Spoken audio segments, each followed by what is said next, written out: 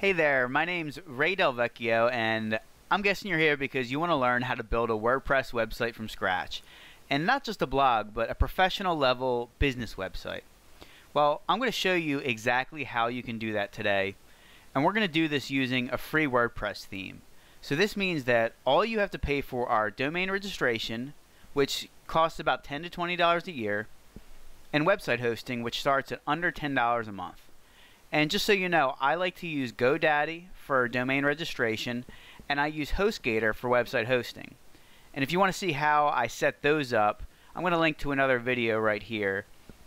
But those are generally really easy to set up. And then once you get that, we're going to install WordPress. So what we're going to do today is fully customize a free WordPress theme so we end up with a modern, professional looking business website and our goal for today is to build a coffee shop website. So this is for a fake business. It's a made up business, but I'm going to take this on as though it's a client. And we're going to create standard pages, you know, an about page, photo gallery, a contact page, etc. So in the end, we're going to create a unique website that you could potentially manage for a small business client. So without further ado, let's get started. Right now, I'm logged into cPanel on my HostGator website hosting account. And the way that I install WordPress easily is by using this quick install option down here in the software and services section. So let me click on quick install and we will get WordPress installed in no time here. There's the WordPress tab over here which I'm going to click on and before they they didn't have these paid options on here, but now they're they're trying to upsell you with some of this stuff. We don't need to do any of this. We're just going to use the free install WordPress button. And we're going to do this directly on your on your domain most of the time, but for me, I'm doing this on a demonstration domain, so I'm going to install WordPress on a subdirectory, which is uh, d2demos.com/coffee let me put in my uh, email address, which is ray at websiteprofitcourse.com. My admin username, which I'm just going to do Raymond. And the blog title, I will do the business name that I chose with it, which is Earth, Earth Grounds Coffee. And I'm not going to worry about filling in the first name or last name section. Actually, I'll just put Ray for my first name. I'm not going to fill in the last name right now. I'm just going to go ahead and install WordPress. And they want to upsell you with this. I'm just going to say no thanks. I'm a web designer. And right now, they're actually requiring you to put in the last name. The last time I did this, they did not require this, but let me just go ahead and do that. DelVecchio and then we're going to install WordPress. I'm still going to do the no thanks I'm a web designer option. And we should have WordPress installed on here in no time. Oh, here we go. they, they completely redesigned this, so this is kind of new to me. Um, the install is complete. We have this bar up here, and I'm just going to view my credentials. Let me go to the website, WordPress website administration page, and log in. And I'll just go ahead and copy my password. And here we go. And now I can save this website with LastPass, which I normally do. Uh, I like to just uh, type this in as WP admin. And I'm also going to type in the full URL under the name just so I know that it's for this specific website. And there we go. So I saved it with LastPass and we're good to go now with logging into WordPress. So we have WordPress installed and with with it installed we're going to start with a free theme. So the theme that I've chosen to do this is GeneratePress and go to the appearance theme section to install this. Click the add new button and we can go to the right side of the page to search for it. So it's one word, GeneratePress and it should be the first one that pops up. You'll see if we click on it that we have 267 reviews. Most of them are five stars. And it's really a minimalistic theme, which for the most part, that's what I like to start with. And uh, you know every different theme has a custom set of theme options. So sometimes you're going to be limited with what you can customize with different themes. But hopefully by the end of this video, you're going to understand how you can customize any part of the website that you want through CSS and just through understanding the WordPress system. Because the more you understand that and how the themes and the plugins work, it becomes much easier to create websites quickly and manage several websites if you're creating them for yourself or for clients. So let me install and activate this theme.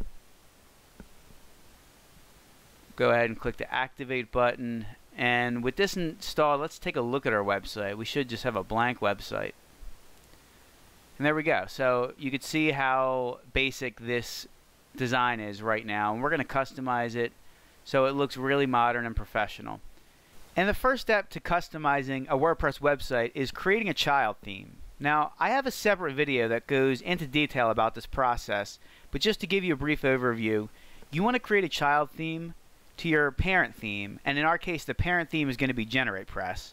But you want to create a child theme because when the parent theme is updated, if you put all your customizations in that parent theme directory, you're going to lose the changes that you made. So we don't want that to happen. We want to protect against this scenario. And so we need to create a child theme for GeneratePress. And to show you an example of this, I'm going to go into my FTP program FileZilla. And I'm connected to the web server right now where WordPress is installed. And I'm going to go to the WP Content Themes folder and this shows us all the themes that we have installed on our website and you can see GeneratePress right up here at the top.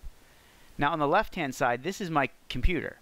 So this is a folder on my desktop computer and I have already created a child theme directory which it's named GeneratePress hyphen biz and that's the format you want to use for a child theme. You want to use the name of the parent theme hyphen and then a name or a, a, word. It could be child, it could be business, it could be the name of your client's business. So the name itself doesn't matter. You just want to make sure that you use that format, which is parent theme hyphen child theme name. And there's two files that are needed in every child theme directory, and that's style.css and functions.php, which right now these are blank, and I'm going to fill them in with the right code. I'll show you exactly where you can copy and paste that.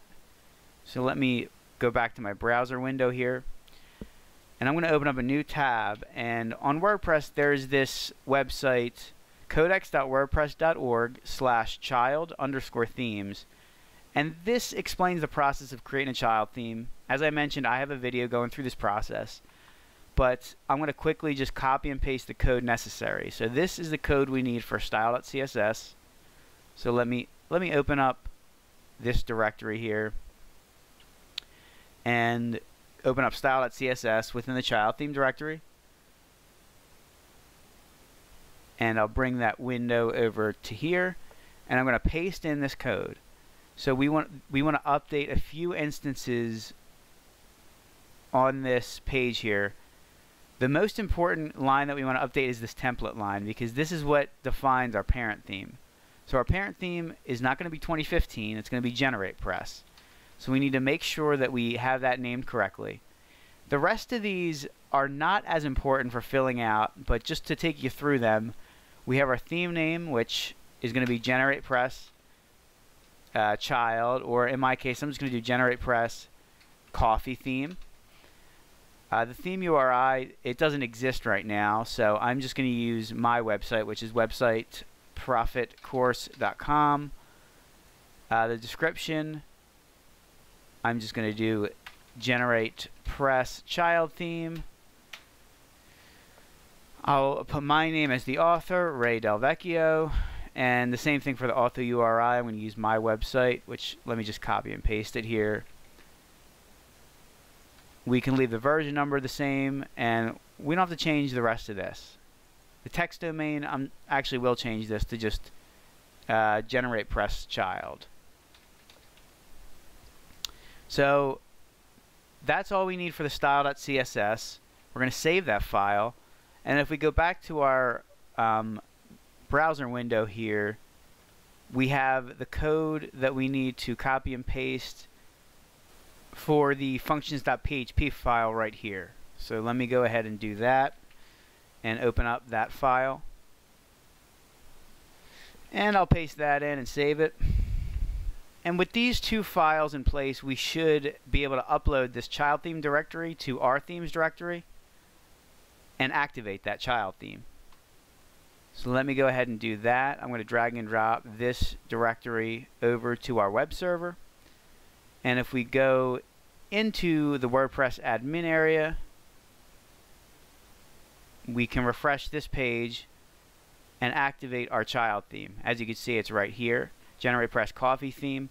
We don't currently have a screenshot, but I'll, I'll show you how to update that once we're done the website.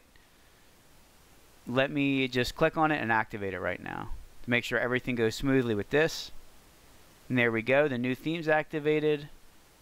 And hopefully if I refresh the page, I still have all these styles that are associated with the parent theme.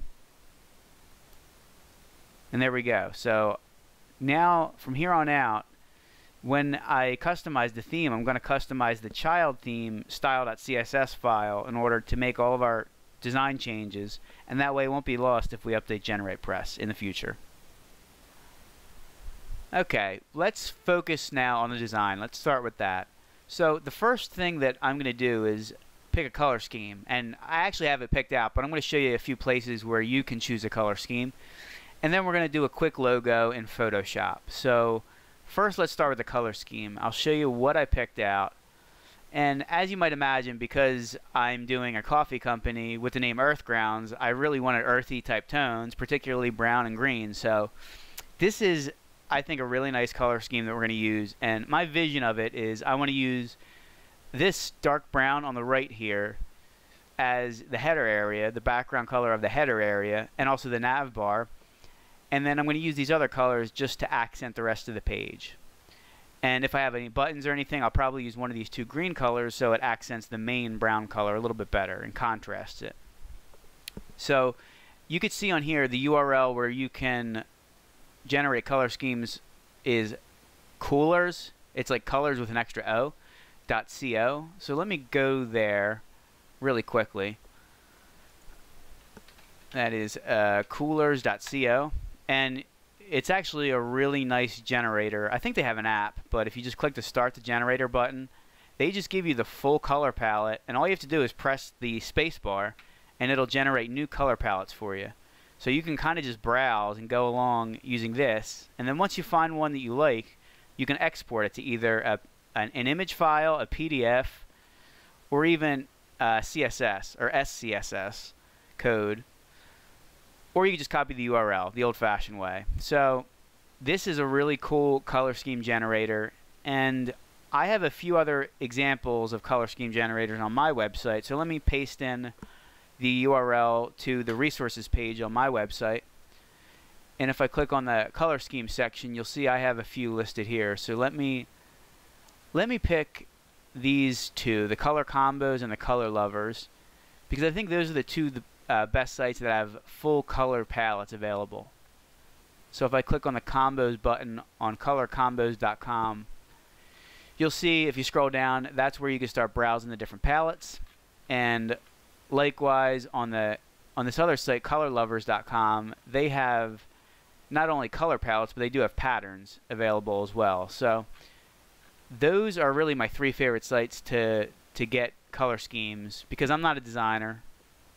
So I don't like to spend a lot of time focusing on that. I just like to pick something that catches my eye. So let me go back to the website here and we'll get started now that I have the color scheme picked out, I'm going to create the logo really quickly and then we'll go ahead and cha start changing the colors in the header and set up the header area. Let me go over to Photoshop to do this logo really quickly. And I'll, I found a few logos that gave me inspiration for this. All I'm going to do is, is get a custom font and put the custom font within a box that's going to be offset a little bit and it kind of looks like a sign and that really is going to be our logo. I'm going to use the color from the color scheme that we just picked. So let me get started with this. I'm going to create a new file, and I want this file to be 340 pixels in width and 200 pixels in height. And that really isn't crucial. I just picked this arbitrarily based on the size. but this I think is a good size for the logo. And we're going to pick out the fonts using Google Fonts. So let me go back to the browser window and I'm going to go to google.com slash fonts. And they have over 700 fonts available to you that you can download to your computer and use within a program like Photoshop, or you can also import it to your website and put these fonts on your website to get a completely custom design. So instead of going through and picking through 700 fonts, I already did this and I picked one out that I like. And it's called Love Ya Like a Sister. So let me type that in and you'll see the look of the font here. Let me increase the size so you get a better view of it.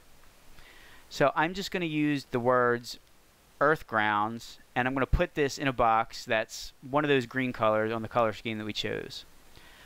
So if you want to use this, you can add it to the collection along with other fonts, and then you can either embed it or download it as a zip file. And that's what I did. I already have this installed. So let me go back here and bring up the type tool. And I'm just going to type in earth. You can see we're already in this font right now. And instead of going to a new line, I'm going to create a new layer because I, I want these uh, words to be a different size. So there we go with earth grounds. And now that I have these two, I'm going to select them both and then select the entire area and center it. Make sure that we're centered there. And I want the earth text to be the same width as the grounds. So I'm going to increase the size of the earth text until it's about the same as grounds. Bring it down a little bit. And there we go. I mean, you can see just using a custom font from Google Fonts immediately makes a logo look that much better. And we're, what, less than a minute into it. So let me uh, now create a new layer for the box. And all I'm going to do is actually just paint this entire area with a color. So the color that I'm going to choose for this box is uh, this green here, the uh, the hex code AAC0AA. And I believe I already have that selected as well in Photoshop. Yeah, AAC0AA. So I'm going to get the uh, brush tool and just paint over this layer. And I just got to bring it to the back now. So we get the uh, font back. And I'm going to decrease the size of this box a little bit because, like I mentioned before, I want to give it just a slight tilt. So it's not completely square, just a little, you know, a little flair to it. I don't really know design-wise why, but I just feel like it looks better. I saw a couple logos that look a little better with that. So I'm going to offset this. Hit Control T or Command T to do the uh, tr uh, transform tool. And I'm going to offset this by just a couple degrees. So let me do about 2 degrees right there. Let's offset it by 2 degrees. And I'm also going to do a really, really quick pattern overlay to give this just a little bit more depth. So I'm going to click into this green background layer and let me bring the box into this window here and I'm going to do a pattern overlay and I already have these settings in place as well. I went through this really quickly right before I recorded and all that I have is a vertical stripe pattern with blend mode color burn and the opacity is about 10%. So you see if I do too much opacity, it really starts to look bad. But if I, I just want a subtle, a subtle pattern to it. So we're going to do about 10% on that color burn. And the scale for this vertical line, I believe it's a standard pattern within Photoshop. The scale that I have is about 150. So this is our logo. This is all I'm going to do for the logo. We just put it together in a matter of minutes. All I'm going to do is hide this white background so I get the transparency, and I'm going to save this as a PNG file.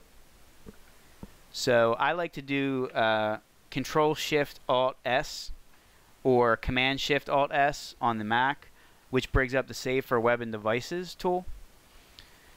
And you can choose either, either JPEG or PNG. You can't do transparency with a JPEG, so we want a PNG file. And I'm just going to save this uh, right to this folder. And I'm just going to call it Earth Grounds logo. earth-grounds-logo. I normally don't like to put spaces in any of my files on a website. I like to use hyphens or underscores instead. So there we go, our logo is done. So we could start with editing the WordPress header.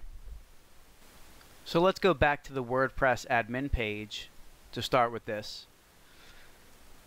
And we're going to go into the customize section. So just so you know, I've never used this theme before. This is actually the first time I'm using this theme. So this is, uh, I may have mentioned this before in the video, but every theme has a different set of theme options. And this is the, these are the theme options specific to this GeneratePress theme. So if you use a different theme, you might have different theme options. You might not be able to implement this the same way.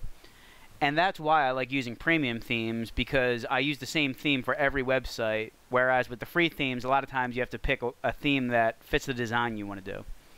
But with that said, let me go through these options on the custom page, on the customize page, and we'll see what we can customize right here. So I'm really looking specifically for the header area, but I'm going to go through all these. So this set the front page option, that can actually be set elsewhere. I'm not going to worry about that right this minute. Uh, the site identity, here we go with the logo. Let me see if I can upload my logo. So here we go with the Earth Grounds logo. I'm going to upload it. We'll choose this image, and let me see how it looks on here. Okay, so we have the logo uploaded now, and what I want to do is hide the site title and the tagline. Alright, and I'm going to save this and publish. We'll go back and check out the other options available to us. So these are the layout options. Here we go. Container width, so I could change the width of the page. I'm not going to worry about that. I think it looks fine.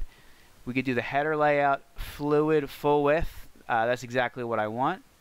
Header alignment, I want the header alignment center. And I want the same thing with the navigation. I want the navigation buttons to be center but I also want them fluid or full width. If you take a look at contain, you'll see that it just cuts it off at the width of the page, but I, I really want it full width because I want this entire header area to be brown. Both the background and the nav background are going to be brown, so it kind of looks like one consistent header. And then we got navigational alignment center, nav search disabled, which is right, I don't want that content layout, sidebar layout. I'm not going to worry about any of these other options here. I'm, I'm good with all this. So I'm going to save and publish those changes that I just made. We'll go back again and we'll edit the colors.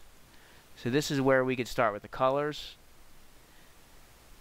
And right here, it looks like you can update the background color, but that is specifically for the content area. I want to update the, the background color of the header area.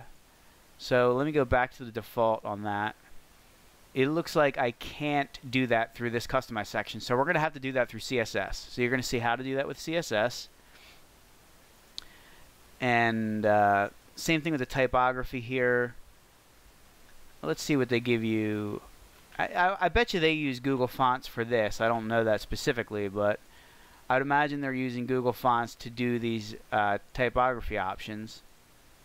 So I can change I could change the font on the entire page.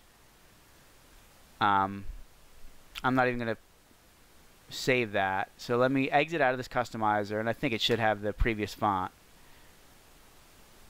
let me refresh the page over here and take a look.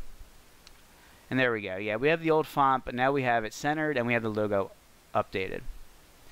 So what we're going to do is we're going to update the background on the nav bar and the background of this section with CSS. And if you don't know CSS, I hope you learned something here because frankly, it's not that difficult. Um, specifically, if you know how to search for what you're looking for. And that, that's really the biggest problem. If you don't know the properties of CSS, then you're not going to know what to search for. But the reality is, when I started learning CSS, I didn't memorize anything. I just knew what to search for, and that's how I found out how to implement things. So the easiest way to figure that out is using the Chrome inspector. I'm using Google Chrome as my browser, and if you right-click and hit inspect on a particular area of the page, it'll show you the code behind that page. So let me pull in this in inspector into this window. And right now it's a separate window, but I can make this docked within the same window. So I'm going to dock it to the bottom here so we can see. And you'll notice if I hover over this part of the HTML code, it shows me where that is on the page. And you can see this is the header HTML code. So in order to change the background of this, all I have to do is, I'll show you the CSS necessary. And we can test CSS with this Chrome inspector. It doesn't get saved, but we can test it. So really what I want to do is add a line of CSS to this header, which changes the background. So for CSS, it's just simply background, colon, and then the color we want to use. So the hex code we're going to use is that dark brown that I mentioned, which is hex code 56331E. So let me copy and paste that. And it looks like I got to retype the background here. That didn't get saved. I'm going to paste in this hex code. And there we go. We have our new background color. So like I said, this doesn't get saved with the Chrome inspector. I have to copy this CSS statement and I'm going to add it to the child theme that we just created. So we're going to go back into the WordPress admin area to the editor section and you'll see that we have the style.css selected for our GeneratePress coffee theme. So all I'm going to do is copy and paste that exact style. But here's the deal: we need to we need to target the header. That's the HTML code that we're targeting for the CSS statement. So we target the header and we put the CSS statement within the brackets. And that's all we need. Once we update this file and refresh the page, we should see that we have our new brown background. And it looks like something got messed up here, so I'm not worried about it. I'm just going to figure out why and fix it. Let me right click here and this got turned that color brown. So let me see here. And it looks like this is why. We have another area of code that's wrapped in this header tag. Now, why didn't this get turned into brown? Let's go back up here, right click and inspect it. And we can see that if we go over to the right side of the page, you can see that the there's another CSS statement for this dot site header, which the dot means class. So we look for the class under this header section. We see class equals site header.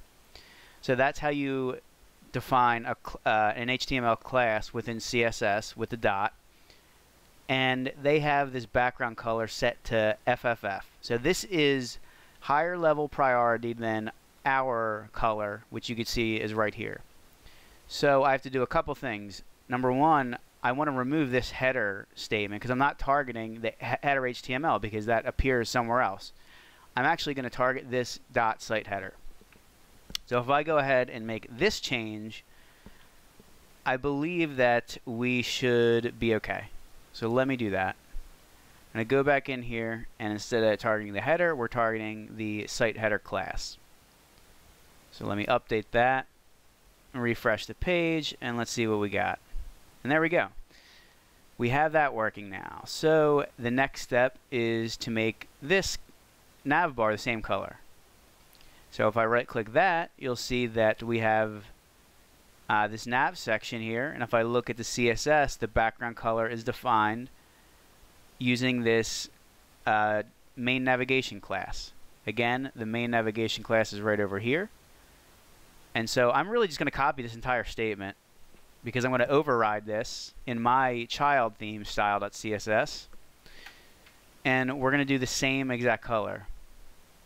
And let me show you something uh, cool with this. Because we're defining the same color with these two statements, we can combine them. And that's exactly what they did here.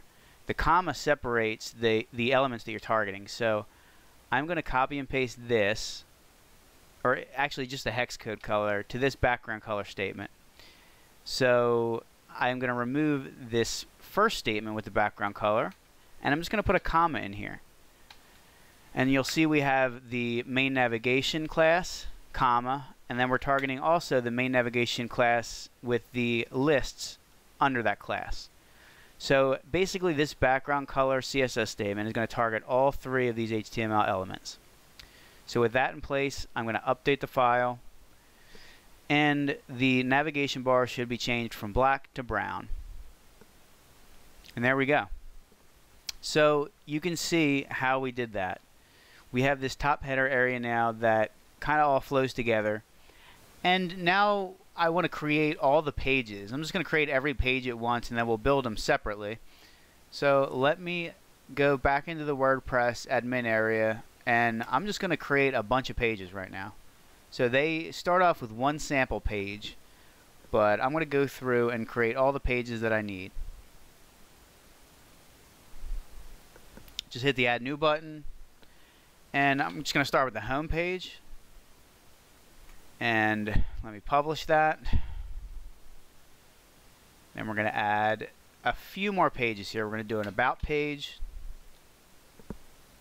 We're going to do a menu page.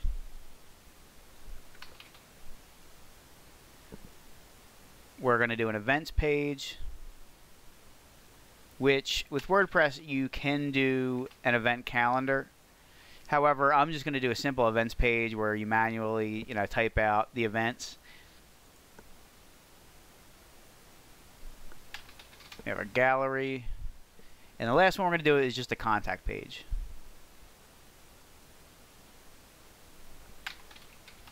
So with all these pages uh, created, now I want to see the menu.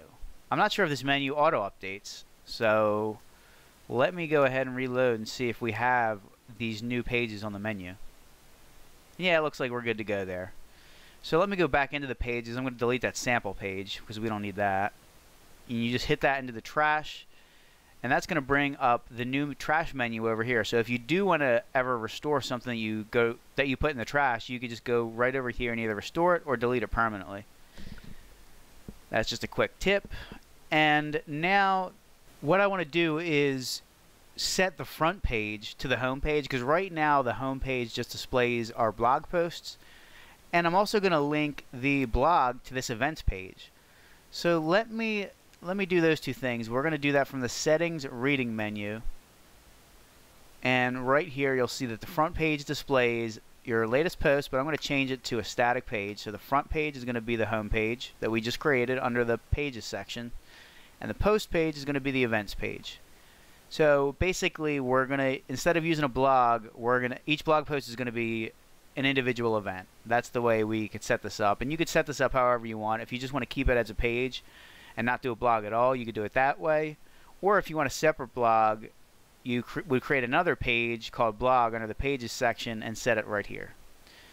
So that's up to you, but we're just going to save the page right now or save those settings and if we go back you should see instead of seeing this blog post we'll see the blank home page so let me reload it and there we go the other thing I, just, I want to check I think we're good to go with this but WordPress by default has a setting called your permalink settings and that's just how the URLs are displayed and for SEO purposes it's good to set this to just post name only so I like to keep it the post name only just so you don't have these extra unnecessary characters in the URL like the or like the year and the month and the day.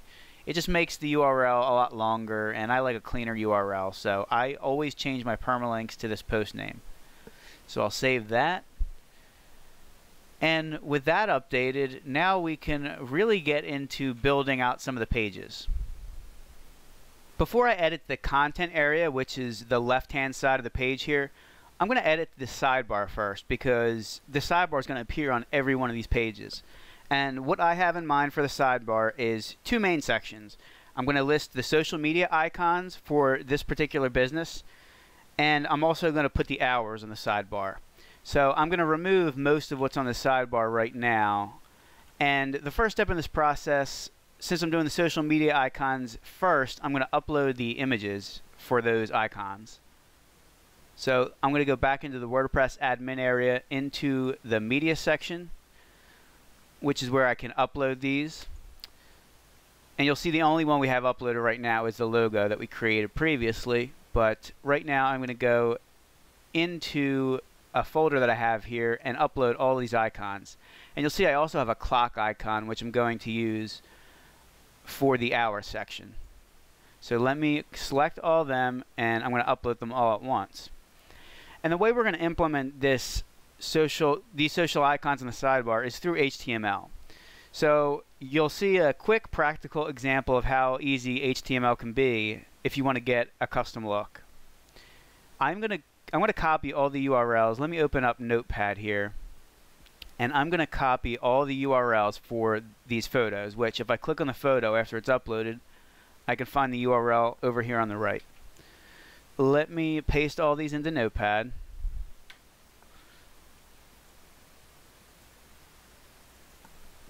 And I'm going to go through here, take a take about a minute to do this. And here we go. I have all the URLs copied for the images that I just uploaded. So with that completed, I'm going to go into the Appearance Widget section, which is where the sidebar widgets are controlled. And you can see these are all the ones that are on the page currently. We have Search, Recent Posts, Comments, Archives, Categories, and the Meta section. And if we go back to the page, you'll see that exact order. The search, posts, comments, archives, categories, and the meta section. So like I said, I'm going to remove all of these and I'm going to put two new ones in for the social media icons and the hours. So let me just delete all these. I have to expand them and I'm just going to delete them. So I'm going to go through and do all of these and then I'm going to add in custom HTML to do the social icons and the same thing for the hour section so we get the exact look that we want. So you can add HTML by dragging and dropping this text widget over here and we can add a title if we want. I'm just going to add uh, find us on social and you can change this to whatever you like. And for the content, we can type in HTML here. So the way that we're going to do this with HTML is through a few different HTML tags. We're going to use the div tag to act as a container for our social media icons. And when I write out HTML, I normally like to write out the blank code and then fill it in. So for this instance, I want to do the, the opening tag and the closing tag. And then I will type the rest of the code in the middle here. So what I want to do is have a list of image links for the social icons. So the link tag in HTML is A, that stands for the anchor tag. And we type the URL into this href section. And for right now, I'm just going to put a hashtag in there as a placeholder. Again, I'm going to type the blank code, so I'm going to end the anchor tag. And then we're instead of uh, using text to link, we're going to use the image the images. So I'm going to type in the image tag here, which is img, and instead of href, we use src to indicate where the file is, the image file that we're linking to. And it's also required, it's good practice to put in the alt tag for images, which this is really just a description of the image. So it's good for SEO purposes if you fill this in with a quick one-line description of what the image is. And then to end an image tag, you don't actually close it out with the side carets. You just simply use the slash and then end it like that.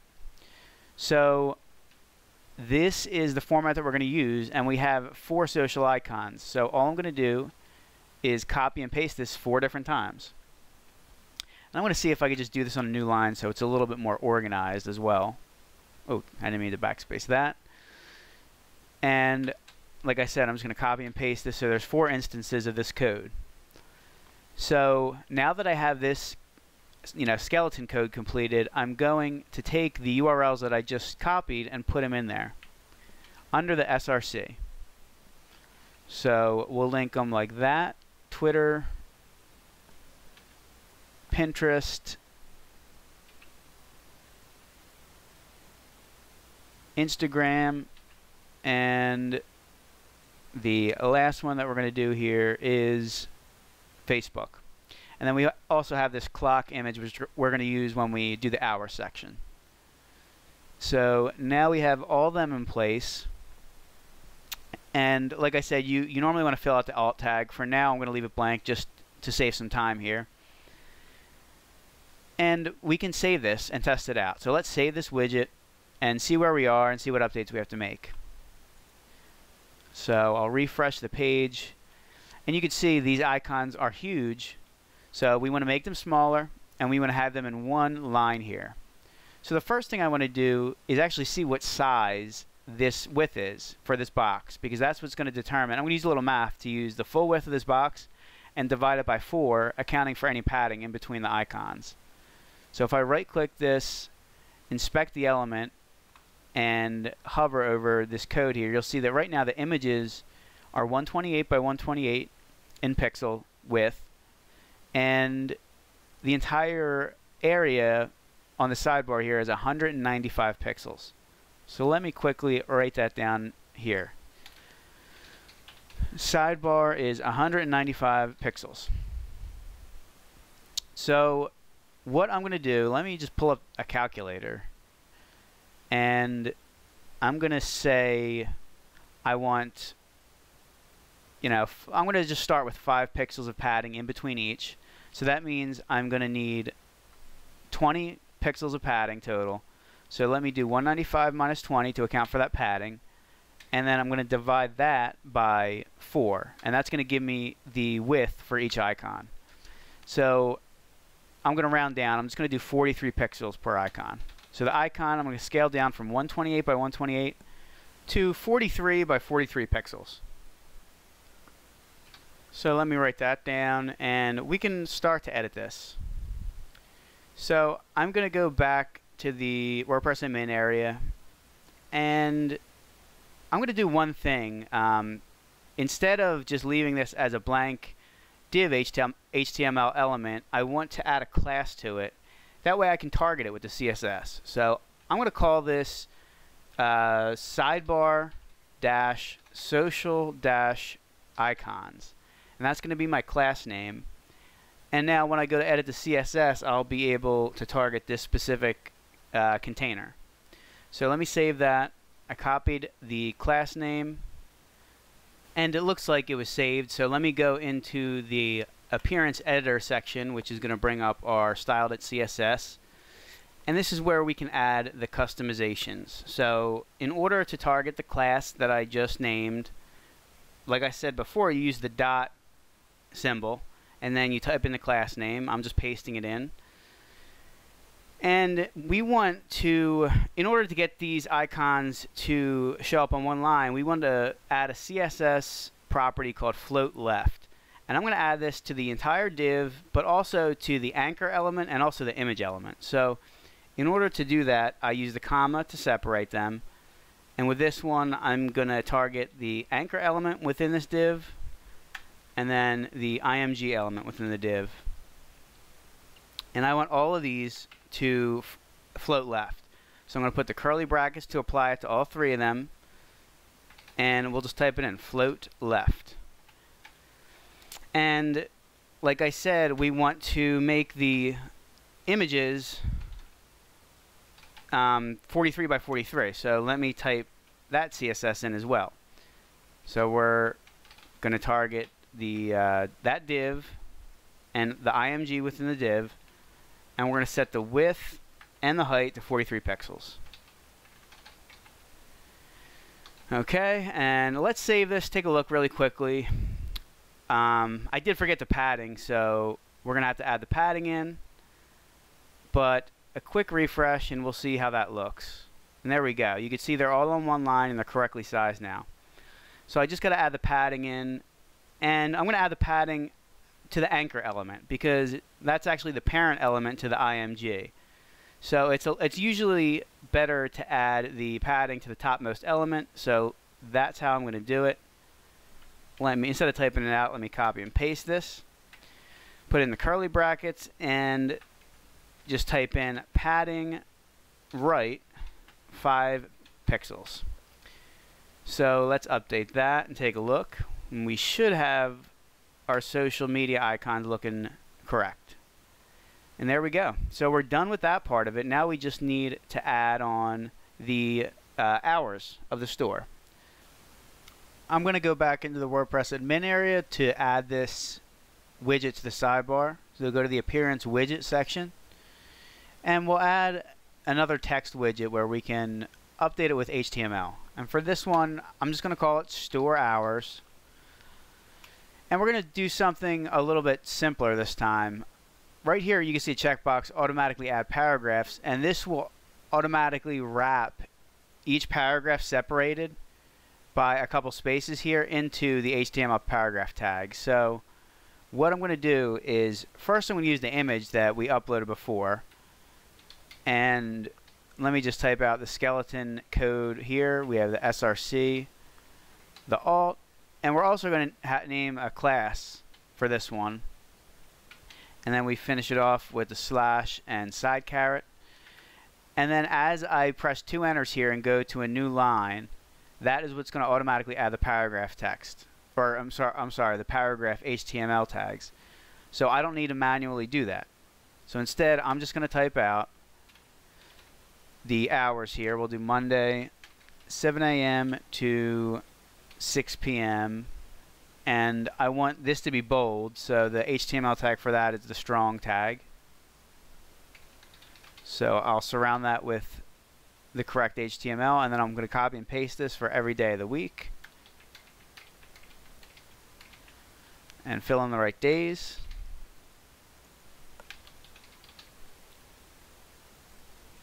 And I'm going to do the same time for Monday through Friday, and then for Saturday and Sunday, I'll change the time. Just to do a slight variation. Obviously, I'm completely making this up, but uh, all right. So now that we get that complete, let me paste in the URL for the clock image that we we were going to use that we uploaded before. All right, and then again for the alt tag, uh, I'll just type in clock. I mean, it's not really that big of a deal right now. For the class, I'm going to put just clock image, clock IMG, and that way we'll be able to tar target the image. But for right now, let me save it, and we'll see how this looks. Refresh the page over here, and there we go. So there's a couple things that we can do here. Um, number one, I'm going to make this icon the same size as, as, this. Maybe a little bit bigger. I might end up making it 50 pixels. We'll take a look at that. And I could also make this smaller, but for the time being, I'm okay with this. You know, the Wednesday flows into another line, so I could potentially abbreviate that, but I, I don't care that much about that. So let's go back into here and change the size of this image. So we're just going to copy the class name and go back to Appearance Editor. And right under here, let me paste in that image, or that class name, I'm sorry, for the image. And I could put in the new width. So let me do width 50 pixels and height 50 pixels. So let's take a look at that. And that's a better size. And I think it would look good if it was centered. So an easy way to center an image is use the display block feature or property and then you use margin uh, zero auto which this is the top and the right margin and it repeats for the bottom and the left. So the top and the bottom are zero and the right and the left margin are auto generated which centers it. So this should center the clock image. Let's reload the page and there we go. So I think that looks pretty good. And that's really it for the sidebar. I have to make one small update. I see that the there is no padding under the social icons so the content area on the sidebar here is white, but the background here is a light gray. And so I just got to slightly update the padding there. And I know why it's doing it. It's doing it because of the float setting that we applied with CSS. So let me quickly fix that. This can actually be fixed by applying a uh, CSS statement to the parent container, which is this entire white area here. So if I bring up the Chrome Inspector and hover over this. Let me find that. And that's right here, the aside. So there's HTML aside. And what we want to do is apply the overflow auto. And that should fix this. And that, this is just a weird thing with CSS. When you float elements, the parent container doesn't really calculate their height, basically. The height is almost zero it's just a weird little thing there. So we have to add this overflow auto to this. And the way that I'm going to do that is I see the ID is text-2 and it's within this class inside right sidebar. So I'm going to target those two elements. And if I go back here, I can do that by um, targeting this class that I just copied inside right sidebar and the ID is targeted with this hashtag. So you do ID text 2. And if we apply the overflow auto CSS property to this, then we should fix the problem. So let's update that file and refresh it. And there we go. We're good to go with the sidebar. So we can start working on the pages now. And the first one that I'm going to deal with is the home page. So for the home page, what I want is just a slideshow. And we'll have text under that. But I want to put a, a wide slideshow on the home page that isn't going to be on any of the other inner pages. So we'll start with that. And I have photos completed over here that these are all free stock photos. And I'll show you where I got them. I got them from the site unsplash.com. And they give you 10 new photos every 10 days. And some of these photos are amazing. So, like, this is really something that's only come around in the last couple years where you can get really high quality stock photos for free. And if you need specific photos, you're not going to find them, but there's a lot of just generic type photos that are incredibly high quality and probably higher quality than you could take, which is the nice thing, you know, you, you have all these resources available to you to create beautiful websites nowadays. So I went through and I looked at all the different coffee photos that I could find from these. And let me bring up the ones that I chose here. And I'll show you just just a, a few of them that I'm going to add to the website. So we have an outdoor photo here. We have a picture of beans. There's a cup of coffee with uh, cookies there's a latte alongside of a stack of receipts and with a uh, service bell. There's a picture of the inside of a coffee bar. Here's a picture of someone with mittens and a coffee cup, uh, an espresso machine, another latte, macaroons, and here's a picture of just a guy working at the computer with a cup of coffee. So those are the ones that we're going to add. And I think I'm going to add all 10 of these to the photo gallery page, and I'm going to pick five of them to use for the homepage slider. And I might add the photos in random places throughout the other pages for design purposes, but we'll see how that goes. So let's get started with this. And I'm going to come back to the WordPress admin area, and I'm going to try something new. Um, I normally use uh, either manual coding or a different plugin to do the slider feature, but I just found another one that has 600,000 active installs and it's got a 4.8 out of 5 star rating. So I'm going to use this one. Never used it before, so we'll see if you know how easy it is. But since the ratings are so high, I don't think it's going to be an issue using a new plugin. So let's go over to the plugin section here, and I'm going to add new. And this plugin is called Meta Slider. Like I said, I just came across this today. And as you can see, it's got 600,000 plus active installs and there's 313 reviews. So I would imagine that this is pretty easy to use and does a nice job of placing uh, image slideshows within your website. So let's install and activate it and take a look at the settings available to us. And you can see it adds a little sidebar here, the Meta Slider sidebar.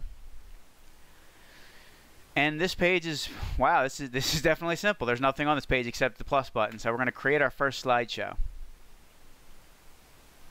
And we're going to add the five photos from those 10 stock photos that I just showed you. So let's upload those files. I'm going to I'm going to choose them. For the homepage slider, I'll do the shop photo. That'll be my first uh, photo. And for right now, I'm not going to fill in this alt text information. But like I said before, if you want to do this for SEO purposes, you just want a general description of what the photo is. So for something like this, you might say coffee shop in and then your city or state name, and that'll help you get recognized if people are searching. But for right now, I'm going to leave all these blank, and I'm just going to add these photos to the slider. So let me add a few more. I'll do uh, the macaroons since they're pretty bright. We would imagine that this uh, coffee shop has a bakery. And then we're going to do a picture of the beans. We'll do a picture of a cup of coffee. So let's see which one we want to select here. Um, I'll do the latte. So we'll add that and then one more. Let's see here. Which one? I'll add this cup of coffee with the cookie because who doesn't love cookies? So there we go. And it looks like we can add a caption or URL to each of these if we want to link them up to other pages. But for right now, I'm not going to worry about that. I'm just going to leave these as images without any links or captions. And we'll see how it looks. So on the right side here, they give you a few different options. And these are for different uh, code bases to do the slider. And I think this is jQuery for the most part. But I believe I've used this Nivo slider before. But for right now, I'm just going to go with the, the default flex slider and see how it looks. And for size, I would imagine it's going to auto resize, but let me see how wide this area is here. So if I inspect the element, I can see that the width of this area is 725. So that's the width I'm going to make the slider. I can adjust the height based on the photos that I have. Right now I don't know what it is. I think it's a little bit bigger than this, so I'm going to go 400, and we'll see if I need to adjust that after. Um, I'm just going to stick with the fade effect, use the default theme, include the arrows, and navigation dots are hidden. I don't really know what that means at the moment, so let's um, let's figure that out once we save it here. And so I'm going to go and save all of these save the settings, and at the bottom here they give you a short code. So with that short code, we can copy and paste this into the WordPress homepage, and that'll display this gallery. And that's how easy plugins are for the most part. I mean, plugins are you can generally learn them in five to ten minutes if uh, if you're comfortable with WordPress. So let me go into the homepage here, and I'm just going to paste in the short code, save it, and we'll take a look.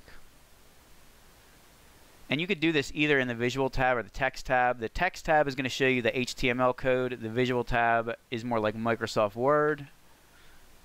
But we're going to paste in the shortcode, update the page, and, and let's take a look to see how our gallery looks on this page. And there we go. I see the bullets at the bottom. We have the arrows on the sides. And for the most part, I think this looks good. So the the one thing I'm going to do, I'm going to change the name of this page from home to Earthgrounds Coffee Shop. So I think that will look a little better. And it's still going to be linked to the home page. We don't have to worry about that. So let's update that. Take a quick look here. Yeah, that looks good. So the other thing I want to change here is this button. I don't want this to be labeled Earth Grounds. I want this to be just home. So I'm, i need to go to the menus section within WordPress. And that is over here in Appearance Menus. And it looks like right now there isn't any menu created. So, and you could also manage this within the Customizer, within Appearance Customize section. But right now, let me create this menu. I'm just going to call it main navigation, or main nav. And we have this on here twice, the home page. So I'm going to remove this instance of it. I'm going to label this home. And these other pages, let me see the order I have here. About, menu, events, gallery, contact. So we have about, menu, and we can drag and drop this events, gallery, and contact. And if you want to do a submenu, you just uh, drag and drop it inward, and you could do a sub item that way, but we don't want to do that. These are all top level items. So let me create this menu. I have the main nav menu, and it just added this ma manage locations instance. So I think I could do this within Customizer. Let me go into the Customizer and take a look at this. If I go into Customize, I can go to this menu section here and uh, menu locations. Your theme supports one menu. Select which menu you would like to use. So I'm going to select the main nav, save and publish, and I think that will fix everything. So it's saved. Let me exit out of the customizer and refresh this page and see what it looks like. And there we go, it's fixed. So now we have home here. We have the title as Earthgrounds Coffee Shop on the actual home page. We have the gallery working. And all we really need to do is build the inner pages. So I'm going to start building most of these inner pages, which for the most part is just going to be simple text and headlines. And for the gallery page, I'm going to do thumbnails that expand when you click on them into the full-size photo. And then we're going to fill in these widget areas with some content. And, the, and finally, we're just going to uh, edit the footer and check for responsiveness across the entire website to make sure that it looks good on mobile. So let's go to the next step here, which is building out the inner pages. And I'm not going to write out text for this. Let me just use fake text, which an easy uh, way to do that is search for lorem ipsum. And it's just a Latin text generator, but it's generally what people use if they need filler text, at least graphic designers and, and website developers. So you could just generate this fake text, copy and paste it, and use that as the text on your website to fill the space so you get an understanding of what it's going to look like when you do write it out. So let me go back to the pages here and just I'm going to paste a couple paragraphs here on the visual tab. Copy and paste that and break it into a few paragraphs. And then we'll save this. And I'm going to do the same thing on the inner pages, but I'm going to add just different photos on those pages and float them to the left or to the right. So we can just get a lot of the different variations of how the layouts will look. So with that saved, let's refresh the page. Now we got some text in there. And we'll start now with the About page. We'll go into the About page and do the same thing. I'm going to copy a little bit more text for the About page. and I'm gonna I'm gonna add a photo in there at the top. So let me paste in this content, and you'll see it automatically paste in those paragraphs. I'm gonna break it into again a few more paragraphs here. And once we do that, I'll show you how to add a quick photo.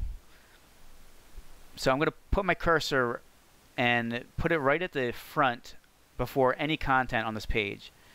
And I'm going to click it there and I'm going to click the add media button and I want to put in one of these photos. So I'll use a photo with a latte, but instead of having it full size across the top of the screen like the slideshow, I'm going to put the medium size photo in there, which when you upload to WordPress, it automatically will, will generate a medium and a thumbnail size photo. So we're going to put the medium size photo in there.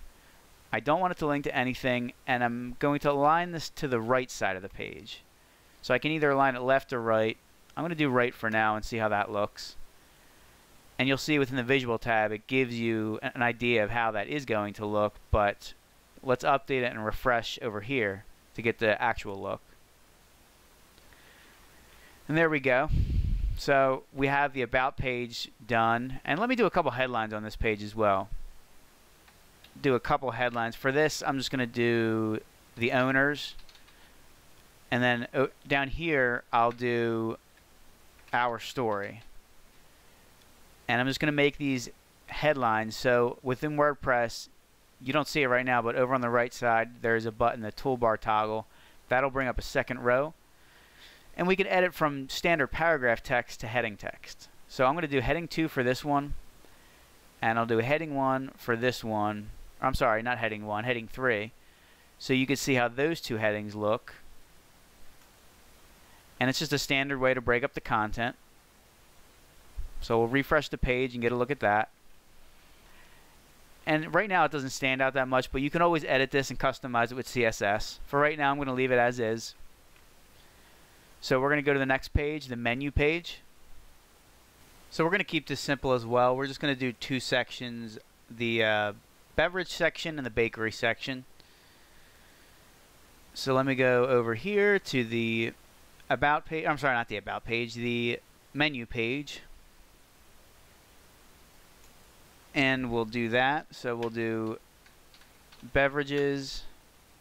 I'm just going to put in some fake text right now to to build like the skeleton of the page. I tend to do that with everything, whether it's code or or building out a page.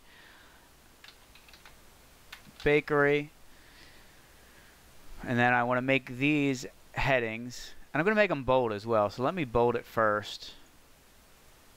And then I'm going to make this heading 2, we'll say. Make both of them heading 2. And for this, I'm going to do a list. So let me see what the what the list looks like, a bulleted list. Let me do this. I'll capitalize it like that. And I'll put the price in there. Alright, we're finished with the beverages now.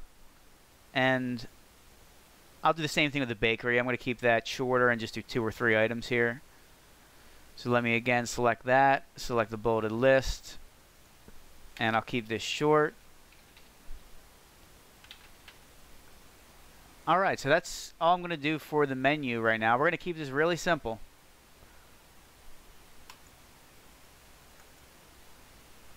We'll refresh and there we go. So I think that looks pretty darn good right now. So we're going to move on to the events page. And really, I'm not going to do anything with the events page. The events page right now is linked to the blog. So anytime you have a new event, you can just edit that with the blog. So let me add a quick blog post and I'll show you that. So I'll just say, you know, free concert on February 14th. So we'll do that. And we're going to type or paste in the lorem ipsum text because I don't feel like writing this out right now. Just keep it simple. So let's go over here and we should see we have two blog posts now. And the one thing we can do is add the more tag so we don't display the full blog post on this page. So let me see if this works with the theme. All you do is after, normally after the first paragraph or so, I'll break this apart into a couple paragraphs. And we'll say after the second paragraph, I'm going to put in this more tag, which it's this uh, button here right to the left of the toolbar toggle. And with this tag in there, it should just display the snippet and it should have a link to the full blog post. So let me update that and see how it looks. See if it works with this theme. And yeah, we have that working correctly. So you see it only displays the snippet and we have the link to the full post here. So right now we have the home page done, we have the about page done, we have the menu page done, the events page done, which is linked to the blog. I'm going to quickly do the contact, and we'll save the gallery for last. For the contact page, all I'm going to do is add in a fake address and embed the Google map. So let me go into the contact page over here in the WordPress admin.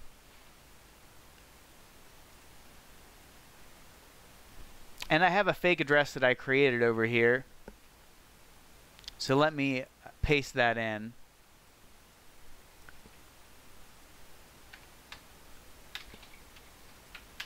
And I'll type out the name here.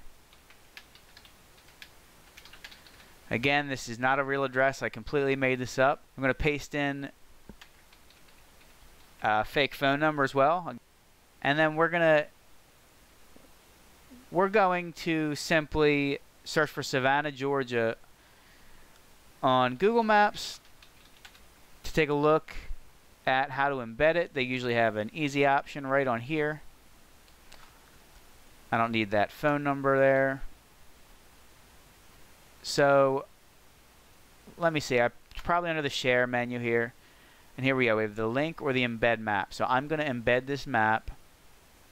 I'm going to copy this and if I go over here into the WordPress admin to the text section, that's where I can paste in HTML. And you'll notice in the text section, you can also make this one paragraph as opposed to splitting each line into multiple paragraphs. So let me do that. We'll paste in the embed and if we go back to the visual you'll see the changes that we made. Let's update this page and take a look. So if we reload there we go. We have our address, phone number, and an embeddable Google map. Last but not least, we have the gallery page. So let's start working on this with the thumbnails and the full-size images when you click on it. In order to do this, we're going to use a plugin. And this is something that I might do with code manually, but I want to show you the easier way to do it. So we're going to use a plugin that I've used many times before and this is called Responsive Lightbox. So I'm going to go into the plugin section, click Add New, and then search for this. Responsive Lightbox, and you'll see that it has a lot of installs. It's got 200,000 plus active installs and a five-star rating. So we're going to install it, and you'll see how easy it is to do this. Let's activate the plugin. And the one thing you might want to be aware of is sometimes if you're using two plugins for one purpose, like for instance, I'm using two different image plugins, one for a slider and one for this lightbox effect. Sometimes they do clash with each other and you'll get weird things happening with your site. So this is why it's a good idea normally to not use a lot of plugins. I like to limit my site to maybe 5 to 10 plugins. But with that said, I did test this before and, and there's no there's no uh, clashes with these two, so this should work correctly. So I'm going to go into settings here, and you'll see we have our responsive lightbox settings. And just like the slider, you can you can uh, choose from different code bases. They have Pretty Photo, Swipebox, Fancy Box, Nivo Lightbox, Image Lightbox, and TosRUs. I don't even know what that is or how to pronounce that. I've never used that or seen that before, but I'm going to leave this as is, keep Swipebox for the time being, and you'll see here that we have this selector, and it's called Lightbox. And we want to enter this selector where we want to apply this Lightbox effect. And we're going to do that to the link, not to the image itself, but to the link. So the image is going to be a thumbnail image, and it's going to link to the full-size image. And this plugin makes it so that instead of getting redirected to a separate page, you're just going to bring the image up within the same window in that lightbox with the background. So I'm just going to show you how to do this. Now that this is installed, I'm going to leave all these as is for the time being. Actually, I'm going to uncheck this one. This is going to add the lightbox effect to every link by default, and I don't want to do that. I want to custom customize where I want this lightbox effect to take effect. So I'm going to uncheck this and we have to add this lightbox tag to all the links where we want this applied. So let me save the changes and I'm going to go into the gallery page now and in here we can add the images and I tend to do this in the text tab as opposed to the visual tab because you want to see the code because we're going to add this we're going to add this lightbox selector to the code. So what we want to do is just click the Add Media button. And I'm going to start with the five images that I already have uploaded.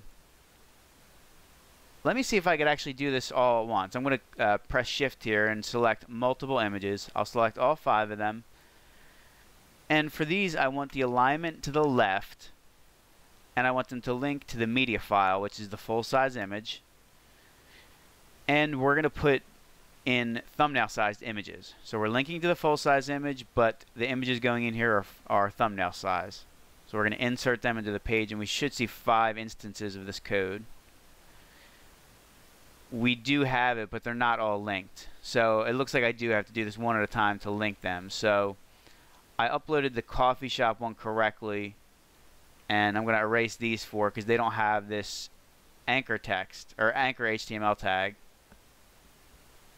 So let me delete these and I'll do these one at a time really quickly. I'll pause the video and come back to you when I'm done. Alright, we're ready to go here and as you'll see within all of these um, links here they give you this rel attribute. It's already within the code. So all we have to do is add Lightbox to this. And you can add multiple attributes. So you'll see there's two here, attachment, and they're separated by the space. So anytime you see a space, that's multiple tags here. So we're just going to add in the Lightbox selector and make sure that there's a space between the previous one and this one. And I'm just going to copy and paste that space along with the Lightbox text to every one of these links here. So you'll see by doing this, you know, it takes 10 seconds really to, to add this. And we should have this lightbox effect take an effect. So let's go back to the gallery page and reload and test it out. And we might have to adjust some padding here because you'll see the first and second row there's uh, alignment issues. But when we click these images, we should get this lightbox. And there we go. So you can see we have the exit button up here. And right now it doesn't look like we have the gallery effect. I'm pressing the left and right arrow button and it's giving me this shaking effect. But for the time being, this is working properly. So that's how easy it is to add photos to the gallery page. Let me take a look at what's going on here CSS wise and clean that up. Let's open up Chrome Inspector and see how we can fix this. So it looks like the image itself has a margin to the right. And because this is floated to the left, this is the sim a similar problem that we encountered before. When it's floated to the left, the parent container, which is the link element, it doesn't have a height. So it doesn't it doesn't calculate or account for the height when the element's floated, unless this element's floated as well. So and you'll notice that the offset right here is caused by the paragraph tag, which is automatically inserted by WordPress when you press enter twice. So there's a couple things that we could probably do to fix this. Let me show you first um, how we could probably fix this by simply removing the enter the uh, enter spaces in here. So let me just delete this, and this is going to look weird. But if I delete this, what happens is when you press enter once, it it adds a break, and when you have this extra space here, it breaks it up into HTML paragraphs. So if I bring this all into one line, it'll probably remove all of the text. I'm sorry, all of the paragraph tags, and it'll all be placed in one. So this is a little advanced. You probably don't want to do this, but I just want to show you how WordPress handles paragraph HTML tags so I'm going to refresh this page. And there you go. You see, this is all contained now within one paragraph tag. And you'll see that if I bring up the inspector. And there you go. We have the single paragraph tag now. It still has the same margin, but it's not offsetting because within this one paragraph tag we have every image as opposed to every image being within a paragraph tag. So that's a little odd, but you'll also see that in the second row we don't have the space here. So I think what I'm going to do is go back to the way it was so it's easier for you to manage. But at the same time I'm going to adjust with CSS. So let's go back here. To add back in these spaces, I'm just going to hit Control F and search for the slash A, which is the end tag for the anchor. And that'll tell me where I can start the new lines. And once we do this, and we have this ready to go, let me update again. We'll start working on the CSS. So let me refresh this page and we should see the error we had before with this padding here. And in order to fix this, what we're going to do is we're going to target, we need to add CSS code to the paragraph the anchor tag and potentially the IMG tag. So I want to do this, but I want to only target this gallery page. So you could do this within WordPress pretty easily by scrolling up to the HTML body section. And with WordPress, you're going to have a page ID for every page. So this gallery page has this unique page ID, which is page ID 13. And we can target this page only with the CSS code by including this tag within the CSS. So that's exactly what we're going to do.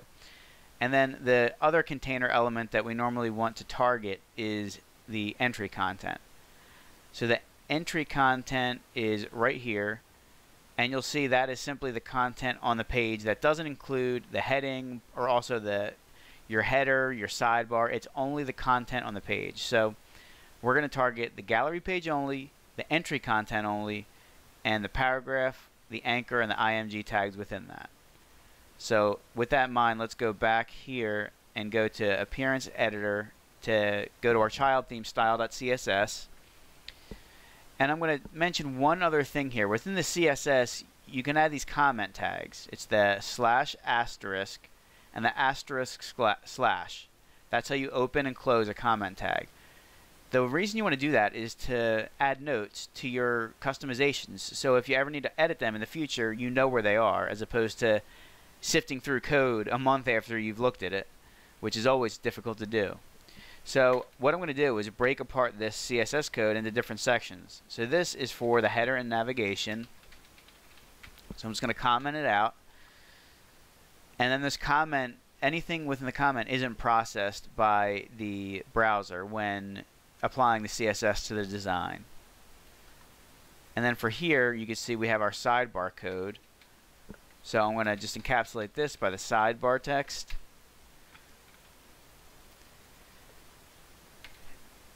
And then we, have that down here as well with the clock image. And then I'm going to create a new section here for the gallery page.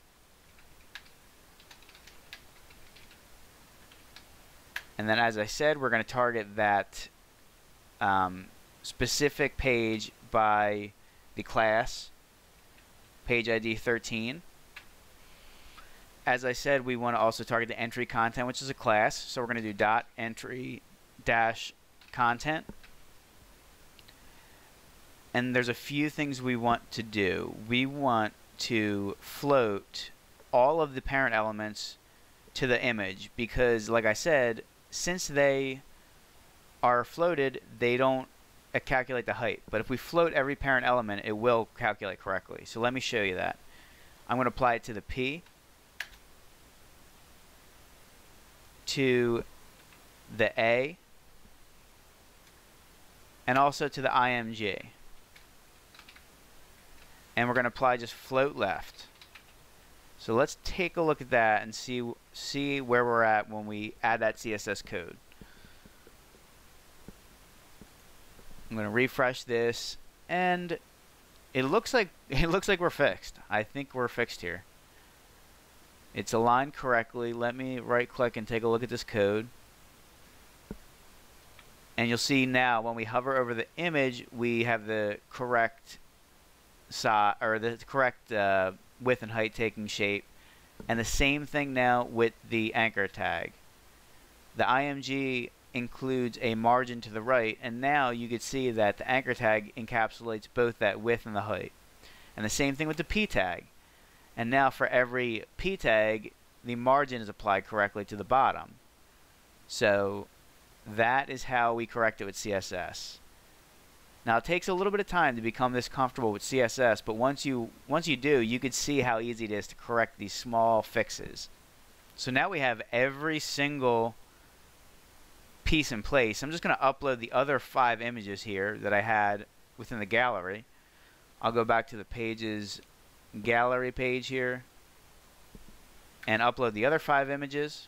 So I'm going to go through one of them and then I'll pause the video until I'm done with all five. And I'll start with this camping coffee one. And we have the same settings, left, link to the media file, and thumbnail size. And there's our six photos. So I'm going to go ahead and do this for the others until we get to 10. And I'll come back at you. Alright, here we go. We have all 10 images. So I'm going to update the page and we'll take a look. And there we have it. We got all 10 images on the page. So we have completed every single page here. We are about 90% done. I'm just going to quickly update these footer widget sections. Right now, since I don't have any you know, more information. I'm just going to use generic information, but you could add whatever you want here specific to your business, or you could even use uh, like Facebook or Twitter widgets to put those down here. But let me take care of that, and then once we finish off the design here, I'm just going to do a quick once over to check for responsiveness to make sure that the site looks good on mobile. Let's go back into the WordPress admin to make these changes. Oh, and I, I, I just remembered I didn't put this Lightbox code into these last five images I uploaded, so let me go ahead and do that. Make sure you don't forget that, otherwise it won't appear in the new box. It will go to a new page. So just add that to the rel attribute, and we're good to go. Update that page. So now we're going to move on to the bottom widgets. They are controlled in the Appearance Widgets section. And you'll see this is the sidebar. And we have a left-hand sidebar, which isn't displayed right now. You could add widgets to the header, which we don't have at the moment. And then here are the footer widgets. One, two, three. And they actually have five of them, but we're only using three at the moment. What I'm going to add into these widgets are a featured coffee section I'm going to put the location section where it includes the full address and the phone number. And the third section, I'm just going to leave blank. I'm going to fill it in, but again, you can use that for whatever you like. If you want to link up Instagram, Twitter, there's several other features you could select. This really is going to depend on the business, but let's get started. So the first one we're going to do is the featured coffee.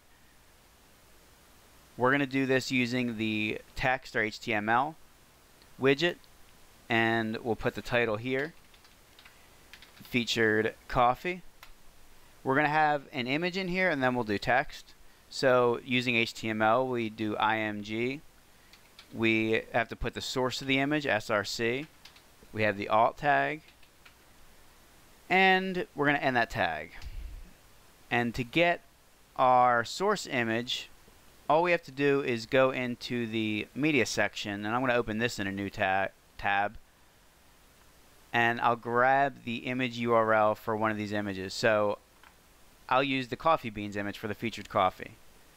Right now I'm going to try using the full size image and we'll see if that needs to be adjusted. This image is a thousand pixels wide but I believe it's going to respond to the width of the widget area. So I'll go back here, add this in to the SRC section and then for alt tag, I'm just going to put featured coffee. Now you would probably put the name of the featured coffee for SEO purposes. And then I'm also going to type in a new paragraph here and it looks like if I don't check this off it's going to automatically add in the paragraph tags as I said when you press enter twice here but I actually want to do this manually just to make sure that I control every element of HTML in here. So the paragraph tag is really easy. It's just a P. So I'm going to type out the skeleton code for that. And let me go back to this lorem ipsum, copy and paste this text.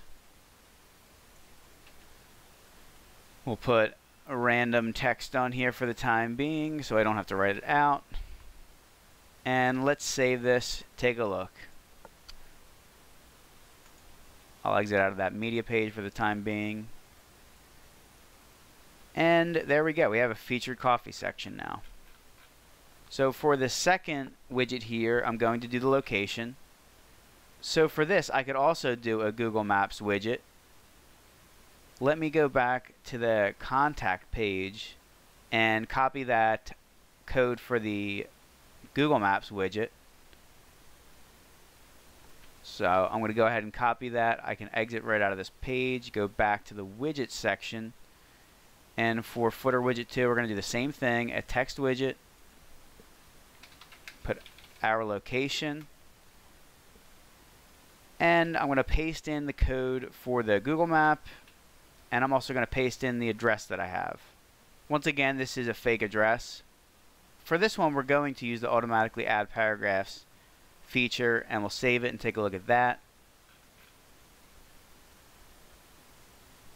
And it looks like we we probably want to add this map to the top here and also want to adjust the height of it. So I'll show you how we can easily fix that really quickly. Let me copy and paste this and delete those extra spaces, add it to the bottom. And right here you can see that we have the width and the height. So I'm going to change the height to 200 pixels and see if that adjusts it. This is responsive, so I may need to make further changes, but this is how I like to do things. Just quickly make a change, take a look at it, and see what needs to be fixed.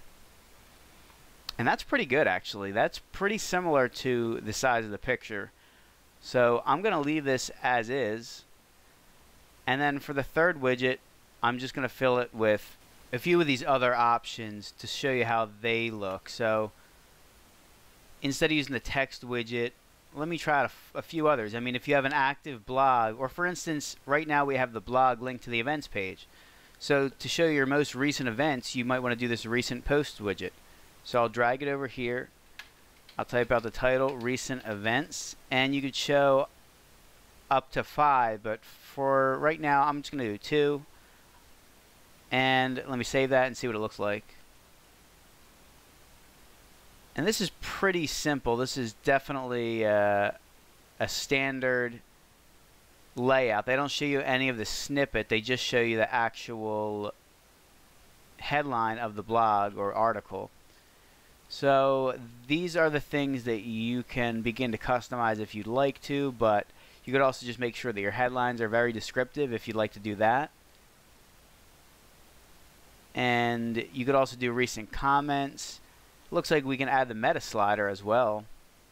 So let me delete this uh, recent post widget and see what the meta slider looks like on here. Let me save that and refresh. And look, you can even add the image slider if you'd like down here. Now the arrows are a little messed up because the sizing, but I mean, you could see how the widgets give you the flexibility to edit the site and update it on the fly. So I'm going to go back to the recent post widget, leave that there in place. Uh, where was it here? Recent posts. And I'll title it recent events again. We'll leave that there as our third widget. And the final thing we're going to do is update this footer area. Right now, the footer has the GeneratePress link and the link to WordPress. And we might want to update that with the business name or something. So I'll show you how we can do that because this is not usually as easy to do within the WordPress admin area. First, let me see if I could do it from the customize section. Normally you can't, but this all depends on the theme. So if I go through these, let me see with the layout. No, there's nothing on here to update it. Colors, typography, menus, blog, now, so it doesn't look like we have the ability to edit on here. So I'll show you how you could do this with the theme files. There's a file called footer.php which generates your footer. And because we created the child theme, we don't have that PHP file in our child theme. So what we need to do is copy and paste it from our parent theme to our child theme. And we could make the edits there. That way, if the parent theme's updated, similar to the style.css, we won't overwrite those changes. So I'm going to do this within FileZilla. I'll open that up. Right now we're connected to our web server, so let me go into the parent theme, which is GeneratePress. We should see that we have a footer.php file. And what I'm going to do is go into my child theme here on my desktop on the left-hand side and drag and drop that footer.php file then I'm going to edit it on the desktop and re-upload it to the child theme folder so it so that footer.php file is used instead of the parent theme footer.php. On the web server side, I'm going to go back into the child theme and let me edit footer.php on my computer here and I'll re-upload it.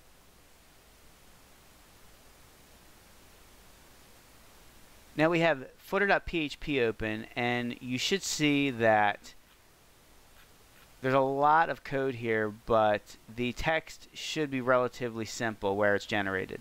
And I can see it right down here. All this is PHP code, which we're really not even worrying about.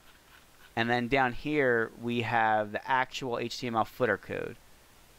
And you'll see that the credits are generated right here. So this, all the credits that you see on that page are actually generated by this PHP line. So if I comment this out, just so we don't lose that, I'll comment that out, and then we can add our own HTML code right here. So let me go back to the page, and I'll copy and paste what's on there now and edit that. So I'm just going to replace this GeneratePress and WordPress uh, text with our company name, our business name. So let me paste that in. I'm going to paste in the text, leave it copyright 2016, and we can do Earth Grounds Coffee in Savannah, Georgia. So this is also good for SEO if you put your state name or location or service area in as many places as possible. So with this footer.php saved, let's re-upload it to our web server under the child theme folder and see if our changes take effect. So there it is. It's now on our web server. We'll go back to our web page, load this, and it should use that footer.php. There we go. There you can see our changes. So you can really build out the entire footer if you want to make a, a more elaborate footer. But for this instance, I just wanted to show you how to change the text on it.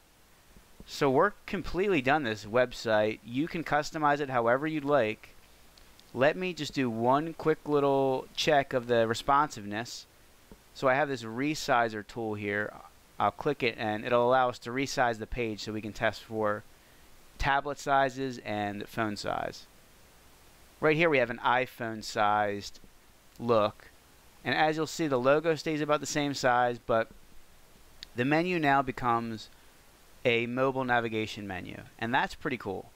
So we have the menu mobile, mobile optimized. Right now, the gallery, those images are now in one big column instead of multiple rows and that looks good. The sidebar now comes under the content instead of being on the side. So all of these areas are really looking good on mobile. If I wanted to, I could make some adjust adjustments. For instance, I could make these images span the full width of the content area on mobile. But right now, I mean, I think this looks good enough. Let me go to a few other pages and see what they look like. So, I mean, this is pretty standard here. I'll go to the contact page. We have that information. We have the Google map on there twice. So everything is looking good here. We are completely done this website. And like I said, I might make more changes and do a little bit more customization if this was a real client, but I mean, this is 90% or 95% of a completed business website using a free theme. Now, if you like this video, be sure to like, comment, and subscribe. I put a lot of time into building this and editing the screencast.